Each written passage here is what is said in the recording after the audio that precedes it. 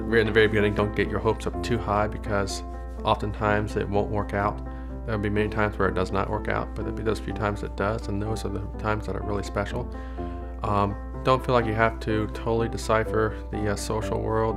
You're not, uh, even though society expects us to have a social antenna to pick up on unspoken, unwritten social rules. There'll be times where um, in the dating world it'd be, be, hard to focus on those things. So just try to be who you are and to um, have some realistic expectations.